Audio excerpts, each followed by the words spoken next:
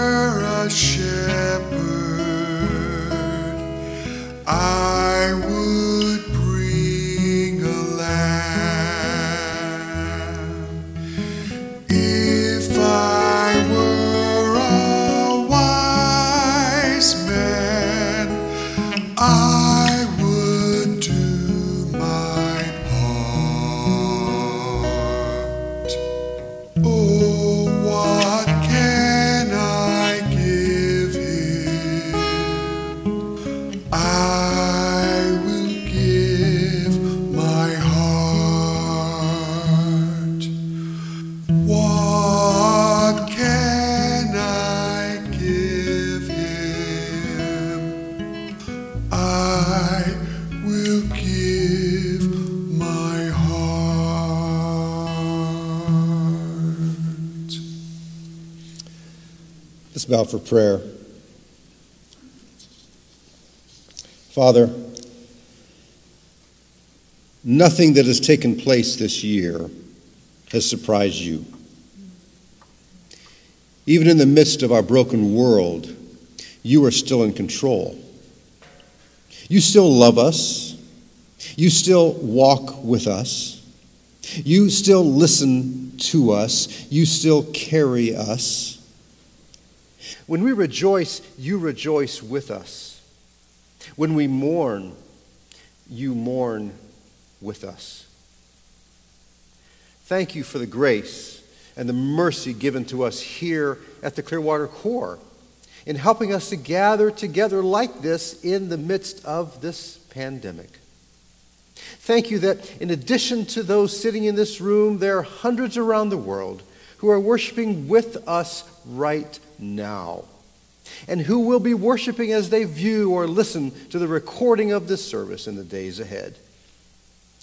Thank you for the gift of health and safety.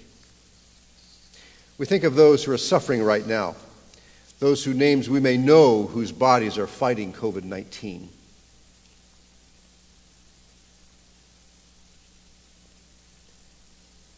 We pray that they will feel your presence with them.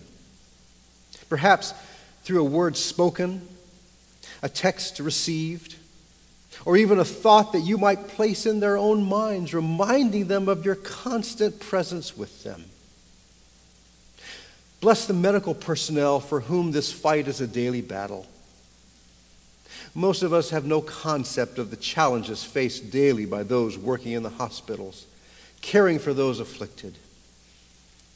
Give them superhuman strength as they care for so many. We lift up this morning Jim and Barbara Odgers as he continues to undergo testing for the tumor on his face in anticipation of reconstructive major surgery early next year. Assure him of your comfort, your peace, your presence through this whole ordeal.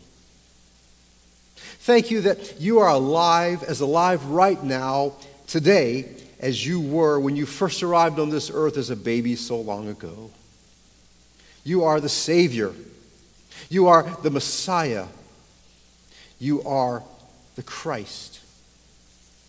And as we bring our worship to you this morning, Father, may you receive it from sincere hearts. And may we receive with open minds and hearts what it is you have for us today.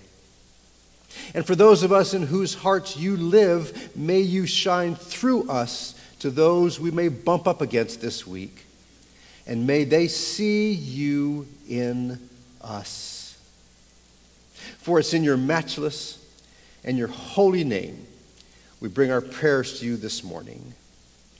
Amen.